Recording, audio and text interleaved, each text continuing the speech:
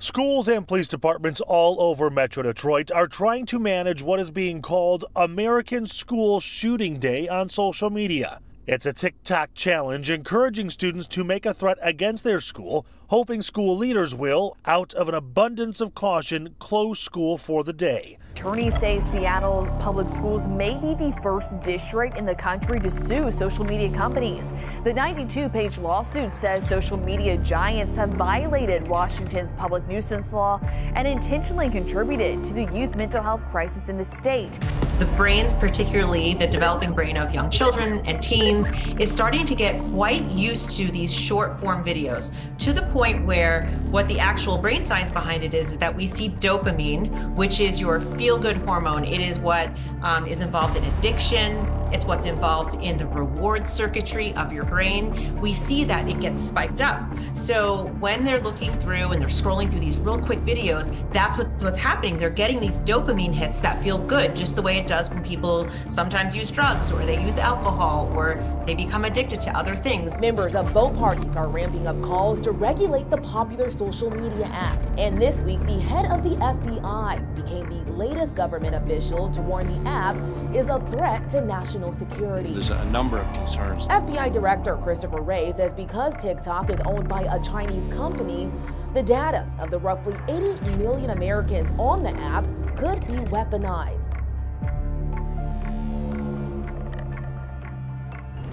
Amen. So keep your place there in Psalm 101. We'll get there in just a moment. So, Psalm 101, a short um, psalm in your Bible, but it's interesting because a couple verses in Psalm 101, not just the verse of the week, but a couple verses, it kind of focuses on, you know, where our eyes are and things that we're looking at um, in our lives. And this morning, I have kind of a unique sermon for you.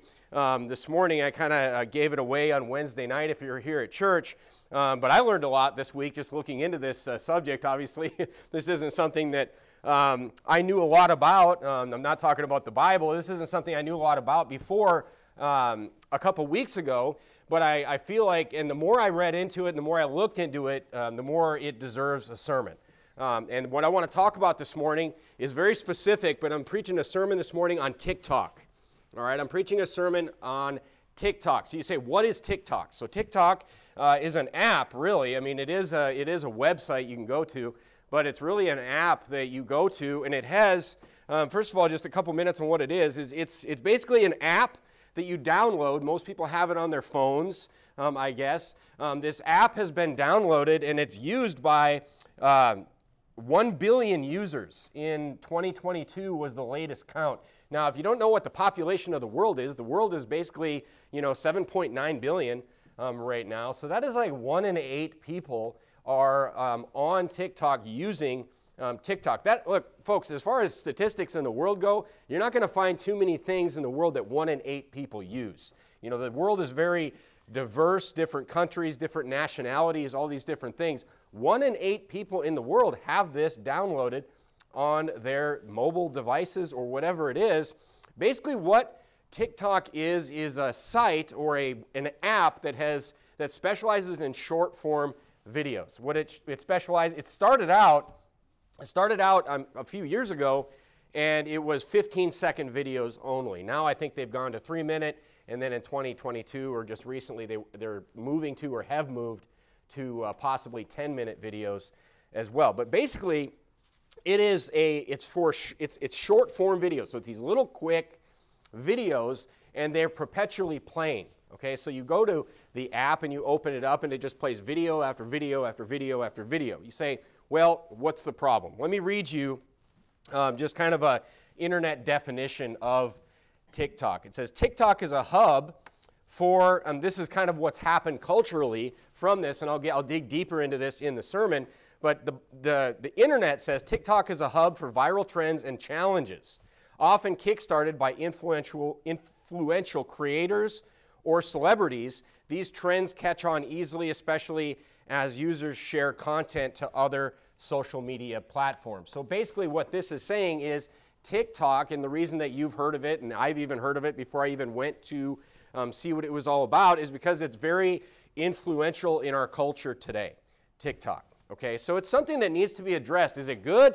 Is it bad? Is it something that I should be worried about? Um, what about for my kids? Look at Psalm chapter 101. Look at verse number 3. Psalm chapter 101, look at verse number 3. So I'm going to give you five points this morning on TikTok from the Bible and, you know, kind of convince you or show you from the Bible, you know, what we should, what kind of attitude we should have as Christians and especially as Bible believing Christian parents what our attitude towards these types of things should be. I'm going to give you five points. The first point I'm going to make as you look down at Psalm chapter 101 in verse number 3 is this content. Okay? Content. Should we be concerned about things that we are looking at and that our kids are looking at. And what's the difference, right? What should I allow? I mean, here's really the thing, okay? Let me just give away the answer. The Bible doesn't differentiate between what an adult should be looking at and what a child should be looking at. The Bible basically says, look, there's certain things that you shouldn't look at. It doesn't say unless you're 17, unless you're 18. Look at verse number 3. It says, I shall set no wicked thing before mine eyes. I hate the work of them that turn aside it shall not cleave to me. Look, I mean, uh, that's a pretty strong, I mean, is that not the strongest language? I mean, what does hate mean? It means I strongly dislike something or someone. That's what it means. We're taught today that, you know, you're not to hate anything. All these people trying to show your kids things, all these people trying to put things in front of your eyes. Oh, no, we should just accept everything. That's what we're being told today. Now, I'm going to just give you some, some, some articles and some quotes from some, some internet sites, and I'll tell you what those sites are in this sermon, but just to kind of show you um, what, you know, the attitude of, you know, conservatives and Christians, I, I put that in quotes, is towards um, this app, all right? So, I shall set no wicked thing before mine eyes. That's what the Bible says. So, content is important according to the Bible. What we view, what we listen to is extremely important according to the Bible. From Common Sense Media, and I don't endorse Common Sense Media, but this is a, a well known conservative you know, uh, reviewing site. Here's what they say about TikTok, all right? And you'll understand why um, I don't put too much um, you know, stock in what Common Sense Media says about anything. Um, you know, my Common Sense Media um, review is the Bible, okay? But look at what just common sense media says. It says, this is a question Is TikTok appropriate for kids? And it says this TikTok can be kid friendly. It, it can be a kid friendly experience if you supervise your kids. Use safety settings and stick to songs you already know. It's heavily um, music, music videos, and things like this um, on TikTok. It's, it's really, it has an emphasis on that. But then look what it says. It says, this is common sense media. But TikTok's emphasis on popular music means many videos include swearing and sexual lyrics, so it may not be age appropriate for kids to use on their own. Even with limits, it's easy to find people wearing revealing clothing and dancing suggestively. Although TikTok won't let you search for objectionable content such as pornography and just, you know, things like that. Okay, turn to Matthew chapter 5. Turn to Matthew chapter 5. Look, the internet in general, and I've said this till I'm blue in the face, the internet in general, especially for you with younger children, you know, children that are still in your home, the internet in general needs to be something that is handled very cautiously in your home. This is a big problem. Look, things need to be put in place. As a parent, things, controls need to be put in place in your home to make sure that you know these things these inappropriate things including pornography do not get into your home protections for adults need to be in place in the home all right look at matthew chapter 5 verse number 28 look this idea of internet pornography that's not the point of the sermon this morning, but it just it goes without saying. Okay, look at Matthew chapter 5 and verse number 28. Jesus said, But I say unto you, whosoever looketh on a woman to lust after her hath committed adultery with her already in his heart. In 1 Corinthians chapter 7, Paul says, The wife, in, in verse number 4, it says, The wife hath not power of her own body, but the husband.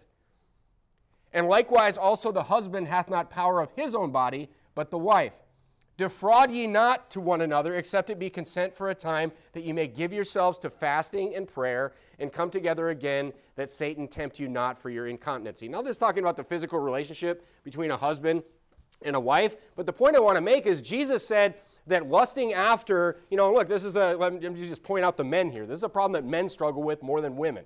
All right, lusting after a woman is committing adultery with that woman. You're committing adultery against your wife with that woman in your heart.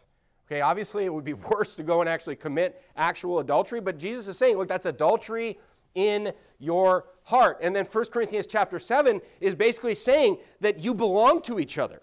It's saying a husband and a wife, you know, you belong to her and she belongs to you. You know, that's why a husband can be jealous over his wife. Jealousy is a good thing in the Bible, envy is a bad thing.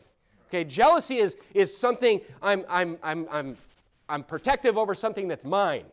My wife is mine, and I am hers. So if I go and I'm lusting, as Jesus said, after another woman, look, I'm defrauding my wife. I'm committing fraud against my wife. So this anything that puts that in front of our eyes, we should we should stay far away from. Okay? So look, I've often said this about YouTube. You can put protections in your look, we're on YouTube. I get that.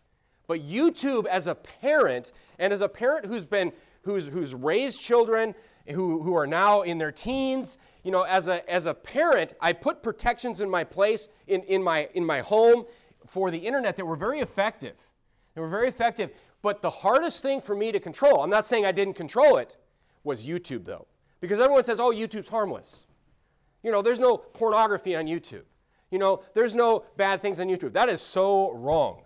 There needs to be plugins installed, all kinds of things installed to make sure that suggested content isn't constantly coming up on YouTube. Because look, there's plenty of trash on YouTube. There's plenty of garbage on YouTube. And TikTok is, is like everything wrong with YouTube times 10 is what TikTok is. Right? It's very hard to control these types of things, and especially the biggest mistake that Christian parents will make is that, oh, it's just YouTube, or it's just TikTok. There's no actual nudity there. The Bible says that anything, you know, your uh, above your, you know, anything basically below your waistline to your knees is your nakedness. There's naked people all over YouTube, and there's naked people all over TikTok, according to the Bible. So we need to get our definitions straight today on what evil is before we even get into this sermon. Right, now look, YouTube, uh, here's another thing about YouTube. It actually it, it has dangerous things that need to be controlled, but YouTube has value at least. You know, you can find things on YouTube that, you know, you can find preaching on YouTube.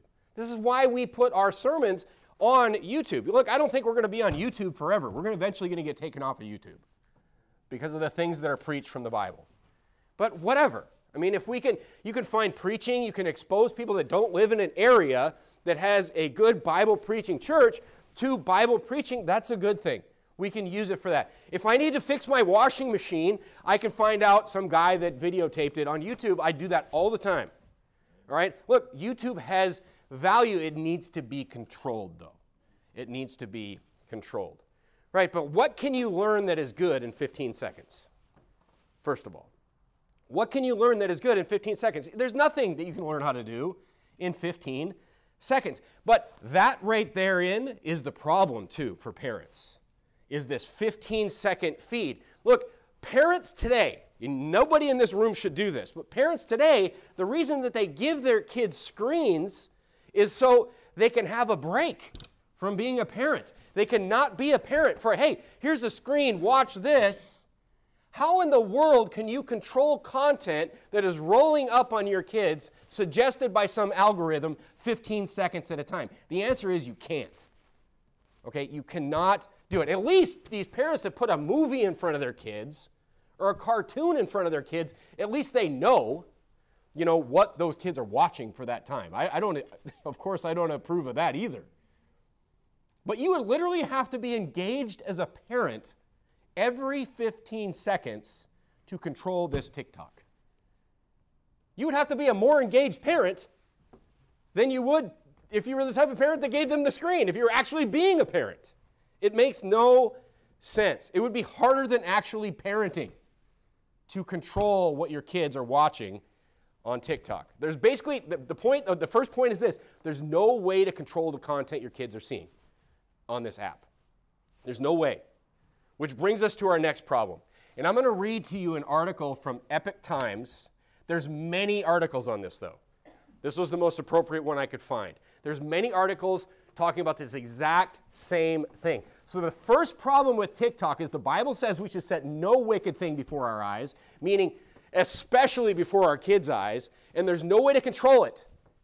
So, if there's no way to control, if there was something in my house, there was no way to control what media was coming through that thing, I would not have that thing in my house.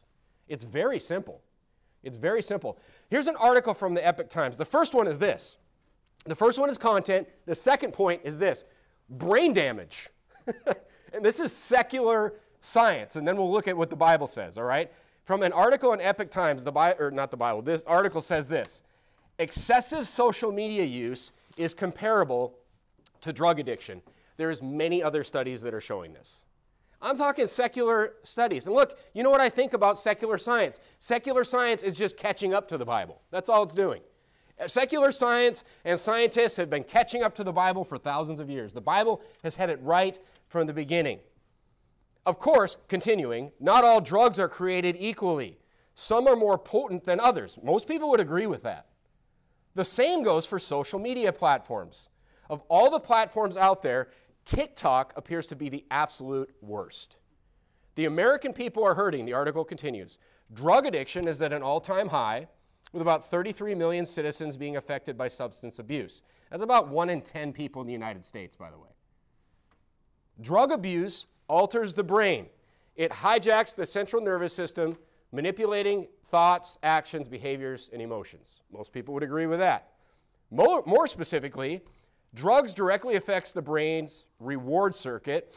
After repeated exposure to certain substances, the brain starts to adjust to the surges of dopamine. In short, heavier doses are need to require, need, needed to require to get the same high.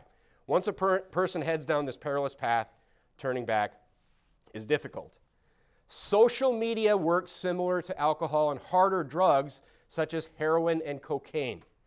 Apps such as Snapchat, Instagram, Facebook, Twitter are problematic, but TikTok, an app created, now listen very carefully here, an app created by ByteDance, a company with close ties to the Chinese Communist Party, is even worse. In fact, the platform has been labeled the most addictive social media site, with young people spending an average of 12 hours plus on the app each week. That's more than two full, de- full days each month, 24 days per year. I'll cover the time aspect um, towards the end of the sermon. I'm going to continue reading this and then I'm going to talk about what the Bible says. In 2020, the TikTok, TikTok became the world's most, down, world, world's most downloaded app. Since then, representatives from Paracelsus uh, Recovery, a mental health addiction clinic in London, told the BBC that they've seen an explosion of young clients exhibiting telltale signs of TikTok dependency. Over the last 12 months, referrals for TikTok addiction have increased fivefold. The founder of the clinic, Jan Gerber, believes TikTok should be compared to hard drugs. She quotes, It has very similar impact on the brain's biochemistry to hard drugs, Gerber said. TikTok has a severe impact on individual happiness, everyday life, and productivity. It's being compared by secular scientists to being addicted to heroin. All that to say this, okay? Now look, here's, the, here's a real conspiracy for you folks. You know, are you conspiracy theorists this morning? Here's a real conspiracy. Here's the thing, folks the collective West doesn't have a chance this morning. Let me tell you a story. When I read this and I read the, the cultural influences and the cultural effects that this is hap- having on, you know, our society in America, you know what it reminded me of? it reminded me of. You turn to Revelation chapter 2, and I want to tell you a story. Um, I'm going to tell you the backstory of Revelation chapter 2. There's a story in the Old Testament in Numbers chapter 23, Numbers chapter 24, and Numbers chapter 25. And there's a king. There's a, before the nation of Israel crossed over the Jordan into the promised land, they were, they were, kind, of, uh, they were kind of mixing amongst these, they were passing through these nations. The king of Moab wanted a certain prophet named Balaam to, he was afraid of the nation of Israel. And he wanted this prophet, Balaam, he said, I'll pay you all this money, and I want you to curse this nation for me. You know, have God curse this nation for me. The story goes in Numbers 23, Numbers 24, and into Numbers chapter 25 that God would not allow this prophet to curse the nation of Israel. This prophet was a bad guy. He really wanted to do it, but God just wouldn't let him do it. He wanted to get the money. He's like, I want this money. Balaam was like, oh, I want to curse them, but he just, God wouldn't let him do it. So what happened was, and he was, look, Numbers chapter 24, at the end of the chapter, Balaam finally goes home and he's like, God just won't allow me to do it. And it looks like he just goes home and he leaves Balak, the king of Moab, and he just, he leaves. He wasn't able to get the money. God wouldn't allow him to do it. But turn to Revelation chapter 2, if you would, and look at verse number 14. The New Testament gives us a little bit of insight about what actually happened to the children of Israel here. Because in Numbers chapter 25, in verse number 1, I'm just going to read that for you as you're in Re- Revelation chapter 2. The Bible says, And Israel abode, abode in Shittim, and the people began to commit whoredom with the daughters of Moab. So in Numbers chapter 24, the last verse, Balaam is heading home. He's like, I wasn't able to do it. I wasn't able to collect the money. God wouldn't, wouldn't let him curse the people. Balak was upset, the king of Moab. Balaam was upset. But then in the very next verse in Numbers chapter 25 and verse number 1, you see that the nation of Israel is just, they're mixing amongst the people of Moab, and now they're just committing fornication. They're just, they're mixing with these people that God told them not to mix with, and they're just like doing all the horrible things that they're doing. They're worshiping the false gods. They're, you know, fornicating with these people. Look at Revelation chapter 2 and verse 14, though. Revelation chapter 2 and verse 14, we get a little bit of insight on what happened between Numbers chapter 24 and number, the beginning of Numbers chapter 25. And the Bible says in verse 14, it says, But I have a few things against thee. Now, this is Jesus talking to these churches. He's rebuking these churches. Because thou hast there them that hold the doctrine of Balaam. This is talking about Balaam from Numbers 23, who taught Balak to cast a stumbling block before the children of Israel to eat things sacrificed unto idols, and to commit fornication. See, Balaam realized hey, I don't have to curse. I don't have to stand at this altar, and I don't have to curse these people in God's name. All I have to do is tell Balak, hey, bring your people amongst the Israelites. Hang out with them, dwell with them. And their own disrespect for God will destroy themselves. You see, that is exactly what this TikTok reminded me of. Look, the people that are enemies of this, this country, they don't need tanks and bombs. All they have to do is provide something, create something, create a platform that will allow our own depravity to destroy ourselves from in, inside. It's exactly like the story of Balak and Balaam. Look at the article continues in Epoch Times. And there's more danger to it than other than just, you know, the depravity of everything. It says besides stealing your private data, the app also steals your happiness through all this addiction. It makes you addicted to it. Of course, the thievery one assumes is by design. Launched in 2016 by ByteDance, a tech giant based in Beijing, TikTok, now get this, TikTok is actually banned in China. China does not allow their own people to download this app. Hello? All they needed to do was create a platform and give it to us in our own demented, depraved philosophy and culture will take care of us. Instead, China, they have a lighter version called Douyin. They have a lighter version called Douyin. It's milder content. There's none of this extreme stuff on it. And they only allow children in China to be on it 40 minutes a day. So they clearly recognize the danger of what they've created and sent to the world. The article continues. And unlike the content that appears on Douyin, which is mild in nature, the content on TikTok is, for lack of a better word, controversial, with users actively encouraged to hold their breath until they pass out, expose themselves in a sexual manner, and drive in a reckless manner, and other things. Like people have committed suicide and done all kinds of crazy things because of, you know, um, trends on this app. Look, folks, this will be the downfall of Clown World right here. In 2020, the United States government, they, they banned it. There was executive orders that Trump, and I'm not, look, I'm not a, uh, endorsing any president here, but there was executive orders put in place to ban this from this country. Of course, then when Biden came in, all those things were lifted. But the point is, they were banned on, on threats of national security because of an app, because of private data and all these different things. Folks, turn to Matthew chapter 24. This is why, this is why you, I mean, I'm going to say an extreme thing this morning, but you must be a Bible believing Christian if you're going to survive all of this and your children are going to survive all of this, the only way to see through it all is to be a Bible believing Christian. That is the only way. Turn to Matthew chapter 24. Because look, to the secular world, what you're being asked to believe today is that content doesn't matter. Is that content doesn't matter. What you must believe is that how kids are raised, it doesn't matter what they see. It doesn't matter what they are exposed to. Look, the irony of this is, is that no one believes this. No one that is normal, no unsaved, normal person believes that content doesn't matter. Otherwise, why do we have a rating system for movies? Think about that. Why is there a rating system like G, PG, PG 13, R, whatever else?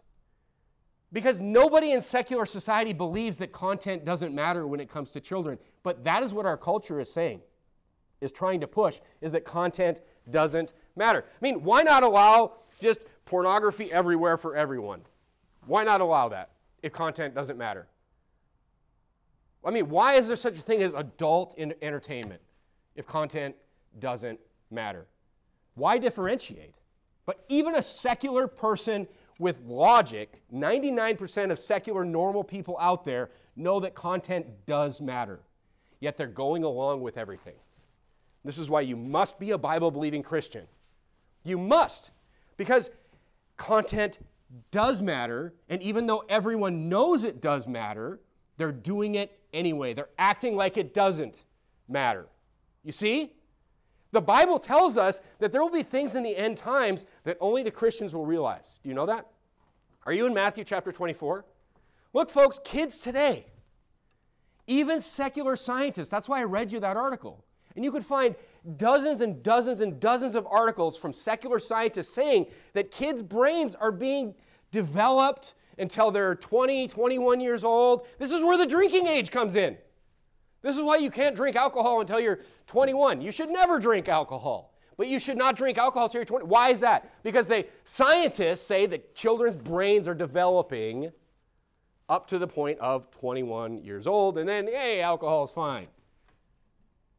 But the point is, is that even secular scientists understand that damage can happen, just like the Bible is saying, but they're all going along with it anyway. This is how you can understand that like non-Christians are just going to go along with all these things in the end times. They're just going to go, I mean, this is a microcosm of, of all that. That's exactly what we're seeing. Kids today, look, kids today, folks, are being abused and confused, is what's happening. And their brains are being changed by it. They're being confused. By, by what? By what they're being exposed to. Look at Matthew 24, verse 24. Jesus tells us that the Christians are the only ones that won't fall for these things, even the big ones. Verse 24 For there shall be arise false Christs and false prophets, and shall show great signs and wonders, insomuch that if it were possible, they should deceive the very elect. Now, what the Bible is saying here, the Bible's basically saying, like, hey, the elect being the saved. The elect being the people that have believed on the Lord Jesus Christ, the people that are saved, the people that are sealed. Right? Not, not chosen. It's just the people that are saved, is what the Bible is talking about here. It's saying, look, everyone's going to be deceived except the Bible believing, saved Christian. It's exactly what we're seeing today. And it's funny because you go up to people and say, you go up to any normal parent today and you say, Do you think that you should just let your kids just watch anything? Nobody would say yes. Yet they're just, they're going along with all of it. They're going along with this philosophy, this worldly philosophy that teaches hey, it doesn't matter what you put in front of their face. It does matter, folks. It does matter. Gen Z, Gen Z, all my kids, all my kids are Gen Z. If you're 11 to 26 years old, you're Gen Z. Every single one of my children is in this generation.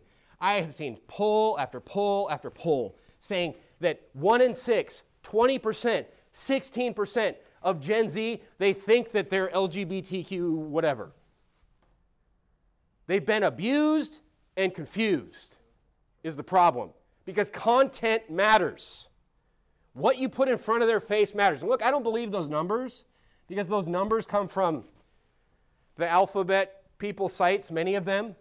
Many of the sources of these polls, I don't believe that. I think there's just a lot of confusion being sown today. And guess what? You can confuse children.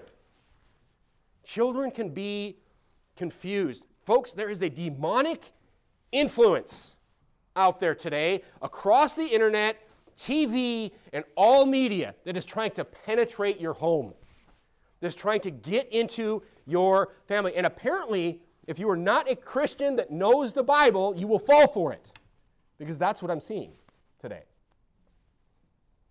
What you expose your children to matters.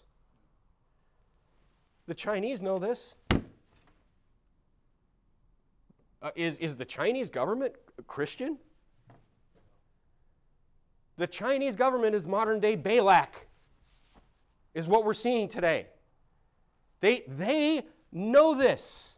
They know that these philosophies in the West are, are not sustainable for a society. They're not saved Bible believing Christians. They're just, they're just, they just understand thousands and thousands and thousands of years of human history on what is sustainable and what is not. They're modern day Balak. Just like Balak didn't need the curse. You know, they just had to hand out a platform that we could use to use our own, to exploit our own depravity, to exploit our lack of wisdom and respect for God in this country. That's all they had to do. But back to the brain. Back to the brain changing. No Christian child or adult should spend any time on TikTok. My kids are old enough to where they wouldn't even have any interest in this. But if I had children that were zero to 12 years old, I, they would be nowhere near this type of thing. Because you can't regulate the content, and it's addictive, it's habit forming. You know that I don't believe addic- uh, the Bible doesn't say addiction's a disease, but you can form habits of sin. You can train your body to like sin. Or you can train your body to listen to the Spirit, listen to the Bible, and fight that flesh. Amen.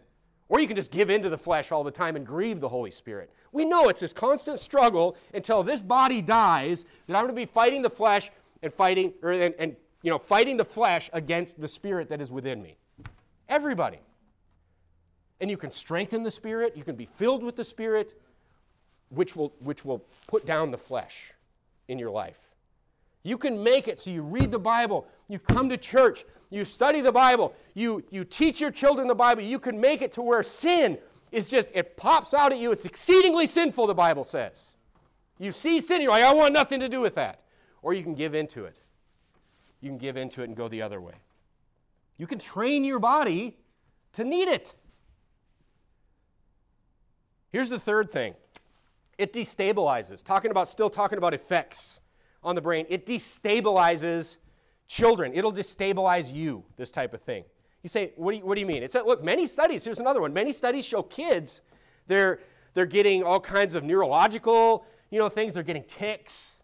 They're getting things like they can't pay attention to anything, ADHD. I mean, th- I mean, hello. You give them something that changes um, subject every 15 seconds, and then you expect them to focus on a task and do their homework for two hours? I mean, you have to wonder if people are just, they've just lost their minds. Kids can't pay attention to anything. Here's another interesting stat that I read just a few months ago construction productivity in the United States. This is super interesting.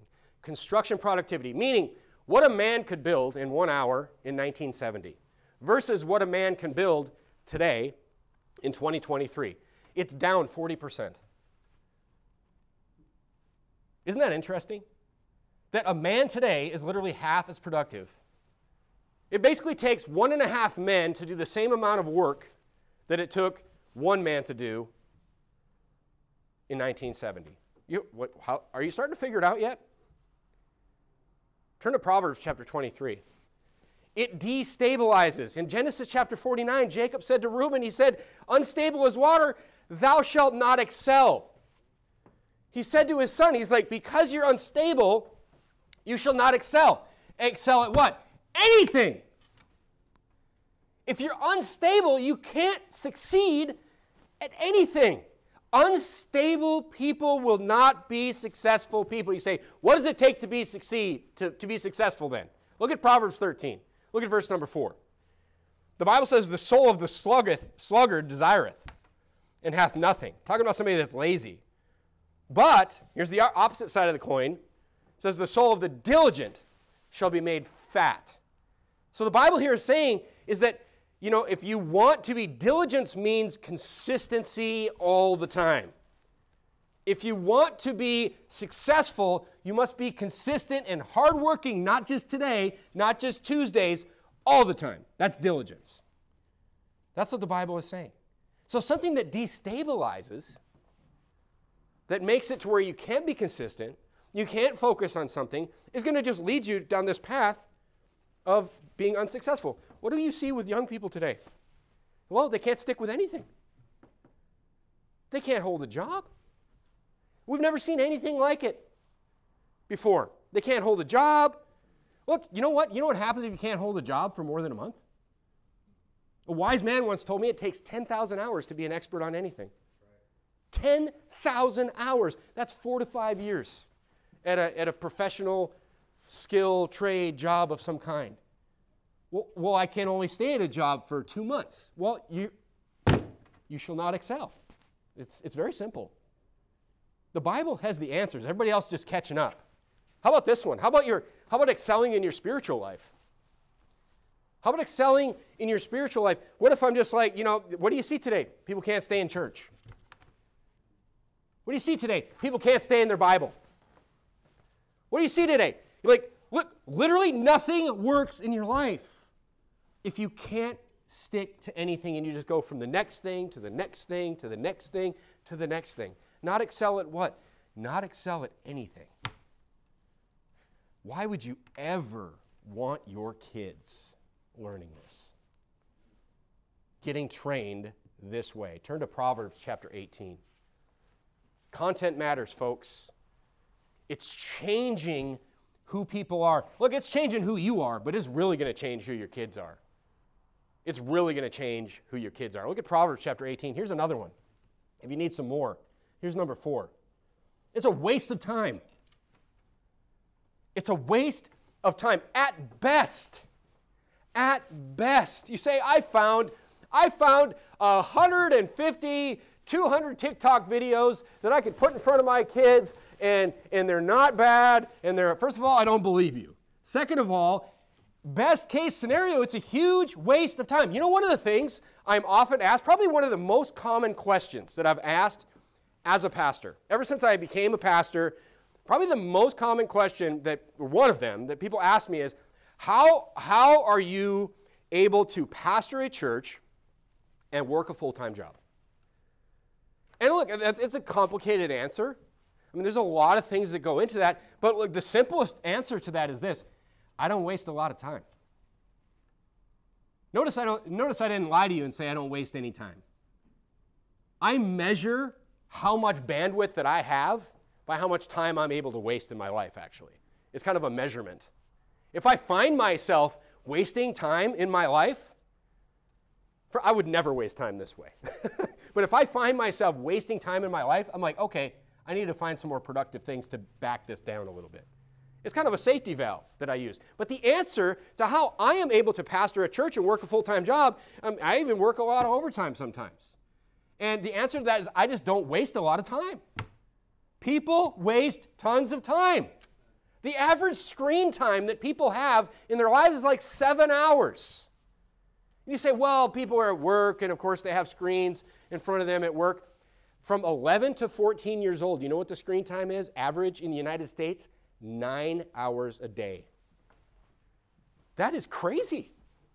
That's insane. They're literally, at best, wasting their entire life. Are you in Proverbs chapter 18? And it's much worse than just a waste of time. You give me two hours of uninterrupted time, and I can make some stuff happen. That's my little rule. I got like a two hour window. You want to get something done at home, you know, at work or whatever, you need two hours of uninterrupted time. Multitasking is a myth, folks. You can't do it. You can focus on one thing at a time. You need two hours of uninterrupted time. I can set up tools, I can get a plan, I can get some work really done in two hours. But you're bouncing from one thing to the next, you'll never get anything done. Look at Proverbs chapter 18 and verse number 9. There's something, you say, oh, just a waste of time, no big deal. Look at this, though. Look, the Bible has all the answers. Science will be catching up to this one for years, too. Look at this. Verse number 9. He that is slothful in his work, that's, this is somebody that's lazy is brother to him that is a great waster. You see that? You know what that's saying? You know what that's saying? It's saying wasting time, which in turn, hopefully I've proved to you, makes you unproductive by wasting time. What it's saying is that those things go together, being slothful and wasting time. You know what? It'll make you lazy, is what the Bible is saying here. It'll make you not want to do anything. If you're lazy when you're 14, what chance do you have in this world? What chance do you have in this life? You know, the thing is, folks, it, we're wrecking these kids before they get started. What chance does a 14 year old, a 15 year old have they're spending nine hours a day in front of a TV, a screen, whatever? How many times you go to a restaurant and you see people with all the kids got, you know, they're doing, uh, they're just, they're, they're done. They're going to be lazy. They're not going to be able to do anything. And that's exactly what we're seeing with this new generation coming up. You, you have to be a Bible believing Christian. I, I don't like blanket statements, but you want to be successful, you want kids that succeed, you must follow the Bible and throw off all this garbage. Here's number five. You're like, there's more? Here's number five, and this is for social media in general. This is for social media in general. Here's the thing about social media, folks Turn to Daniel chapter 12. Daniel chapter 12 and verse number 4 is maybe one of my, I think it's my favorite, it's my favorite prophecy at this time. Because I think it really points to what we're going through today. Social media in general, here's my fifth point it's not real. It's not reality. All these people with all these lives on all these social media sites and all this stuff, look, it's fake. You're not going to see anybody put on Facebook like, man, my wife and I are really having a hard time. I'm not being a very good husband because I'm doing all these, you know, garbage things and I can't get this sin out of my. You're not going to see people posting that on, you know, social media. It's just, it's all these fake lives about look at all the great things and how great we are and all this, and none of it's reality. None of it's reality.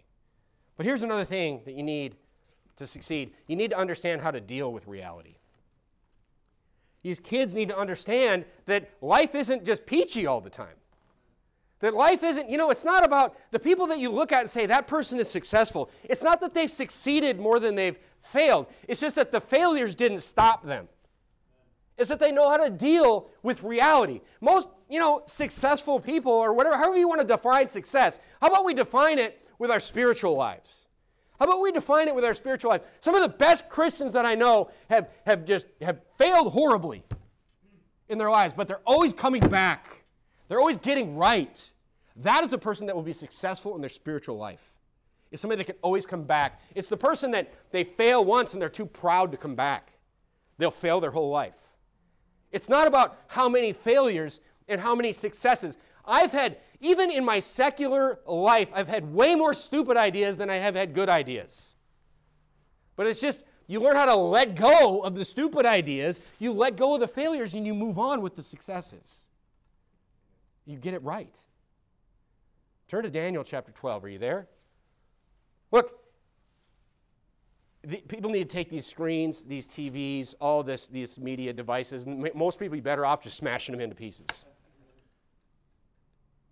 just smash them into tiny little pieces. You say, oh, but I, I watch YouTube, but I watch, I watch your sermons on YouTube. Well, that's great. That's great. That's why we don't focus a lot on short clips here either. Because, like, just I'm philosophically like, hey, you know, you should listen to a whole sermon. You know, you should listen to a whole sermon. It's not something we spend a lot of time with the media department making a bunch of little short clips for you so you can pay attention 30 seconds at a time. It's like, no, you should listen to a sermon that's an hour long. Then maybe you'll actually learn something. Here's an idea. Here's an idea. Go to church. You're like, I don't have a good church near me. Move. Move to somewhere that has a good church. Because look, there's nothing else that matters. Reality is what we need today. Learn something, do things. Look at Daniel chapter 12 and verse number 4.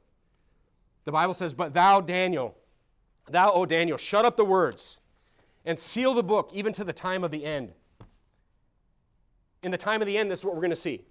Many shall run to and fro, and knowledge shall be increased.